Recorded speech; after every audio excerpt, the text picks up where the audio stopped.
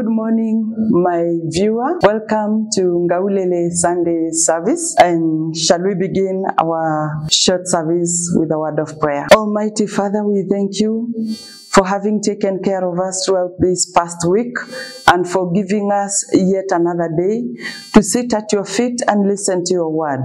Now we pray that your spirit will connect us with you and also with each other, with my viewer, that we may be able to listen to you and hear you as you speak to us. Teach us your word, Almighty God, that um, as you guide us, we may be able to serve you even better. Thank you, Lord, for it is in Jesus' name. Amen. Karibu sana. We continue with our series in uh, giving.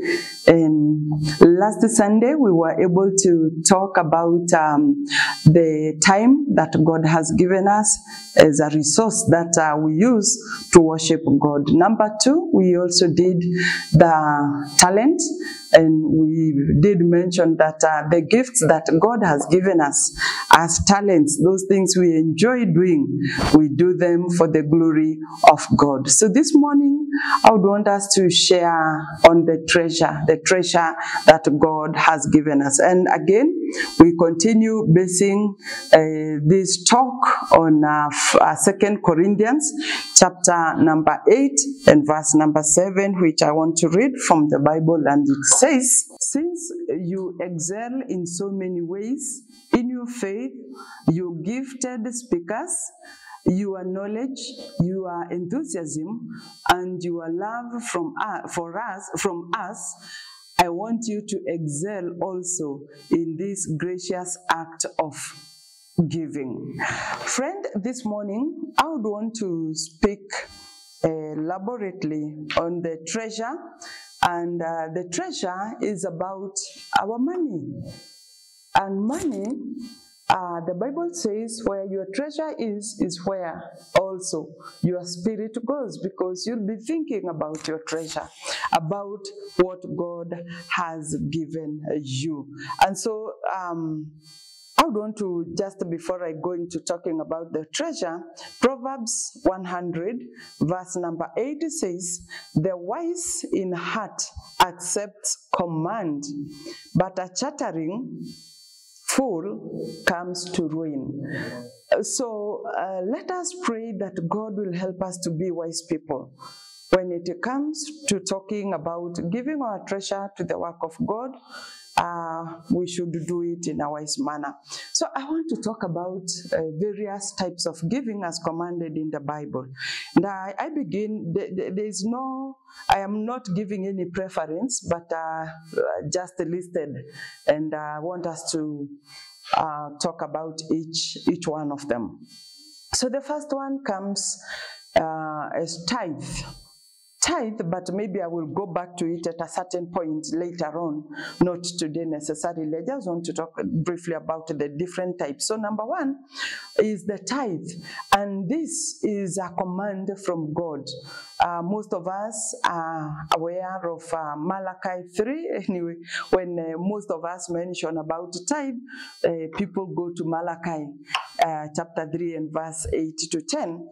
And I will also want you to check on um, Leviticus chapter 27, verse number 30 and 33. Uh, what about the tithe? When we give a tithe, we honor God. We honor God. We worship Him with what He has given us, but when we give it, we honor Him by obedience to His command that we give a tithe, the whole tithe, uh, to His granary so that there will be no lack. Uh, remember, God is the owner of all things that uh, are here with us, and He wants us to be obedient to him. You know, it is not about the amount, but especially obedience to God, the attitude that we engage in our giving. And so um, we, we support the church and the work of God. And especially our spiritual leaders, as God has commanded when we give our tithe. So, tithing commands blessings uh, but also be aware that it either will command a blessing or it will command a curse on us. So as we give, let us give it from the perspective of knowledge. Let us give it um, with a positive attitude and let us know that it is part of worshiping our God. Now, you, if you read um, Leviticus chapter number 27, verse 33, 30 to 33, it says, we give a tithe of everything from the land, whether grain from the soil or fruit from the trees. All this belong to the Lord. It is holy to the Lord. And more of this we will discuss at a later date. Number two item that I want us to discuss on um, uh, on um, treasure, I want to bring the aspect of uh, a free will offering, sadaka ya kawaida. And this I want to read Exodus chapter number 25, verse 1 and 2. And the word of God says, uh, this is a command that God gave to uh, Moses. Tell the Israelites to bring me an offering. You are to receive an offering for me from each man whose heart prompts him to give. So here, friend, we are not ordered to give any amount, a certain amount, specific amount, but we give according to your willingness, according to that which is in your heart. With the tithe, we are commanded, it is a tenth and nothing less, a tenth. And uh, but uh, the free will offering is that which we give every Sunday. We bring what God has given us from what God has given us. We set apart and bring it to Him. Number three is the first fruit. The first fruit offering in Kiswahili we call it malimbuko. And Proverbs chapter number 3 and verse number 9 says, Honor the Lord with your wealth, with the first fruits of all your crops. Then your barns will be filled to overflowing. Tumuheshimu Mungu kwa malimbuko ya mazao yetu, iwe ni mazao ya chakula, iwe ni mazao ya udongo au mifugo. Tumuheshimu Mungu, tumwabudu Mungu kwa mazao yetu. And it says in Exodus chapter number 29, Exodus number 22, verse 29, it says, Do not hold back offerings of your granaries. And verse number 30 says, Do the same with your cattle and sheep. I repeat, do not hold back offerings of your granaries. That's verse 29. And verse number 30 says, Do the same with, the, with your cattle and sheep. So, first fruits are presented at the altar as a token, but is for use by the priest. So, when we take our our our um, first fruits to the altar, we are not expected to see it being sold. No, it is not for sale. It is not for a sadaka that should go where the rest of the offering goes, but then it is given to the priest of the altars that we worship through or from. Then the other item is uh, a thanksgiving offering. Thanksgiving offering. This is where we are coming to tell God, thank you for what He has given, for what He has done. We are just thanking Him uh, for all that He has done. I specifically love uh, Psalm number 116, verse 7, and I will also read uh, verse number 12. Be at rest once more, O my soul, for the Lord has been good to you. Be at rest,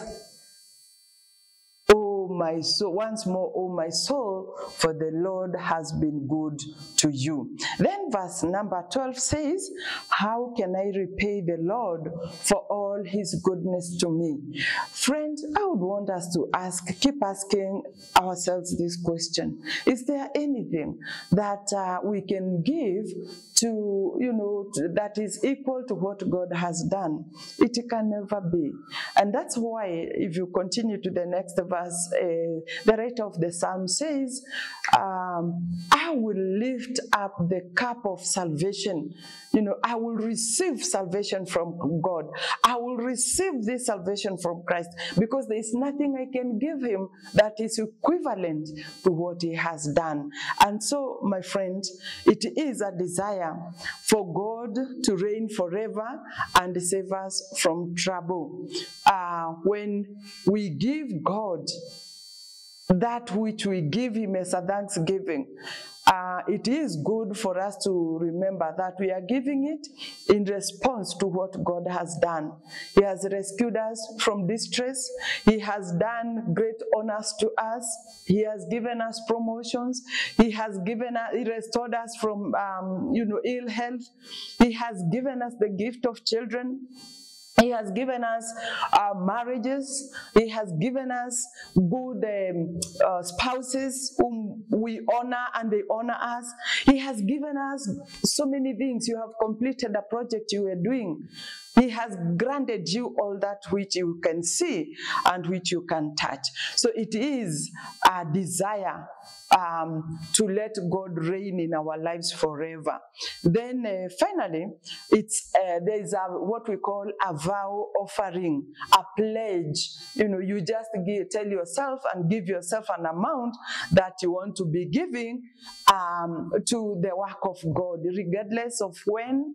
It is up to you. You can decide. You can agree with God. I want to give a daily offering, or I want to give um, a, a monthly or even a yearly, depending on you. It is up to you. But then you must honor. Once you have promised yourself you want to give to the work of God, it is good that you honor. The book of Ecclesiastes chapter number 5 and verse number 4 says, When you make a vow to God, do not delay in fulfilling it. He has no pleasure in fools. Fulfill your vow. So, this is the word of God.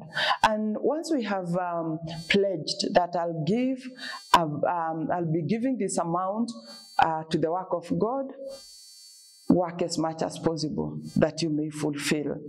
Now, may God help us to be faithful in giving and spending the treasure He has given us for His service. May God bless you so much. We will continue with our series next Sunday. May God bless you. Shall we pray? Almighty God, we thank you for this day that you've given us. We thank you for your word. May you continue encouraging and strengthening and enlightening us so that we may worship you in a way that is acceptable to you. Bless my viewer, bless my listener, wherever they are, that Lord Almighty, you may walk with them as you teach them your word. For it is in the name of God, the Father, the Son, and the Holy Spirit, I pray. Amen. Bye bye. God bless you. See you next Sunday.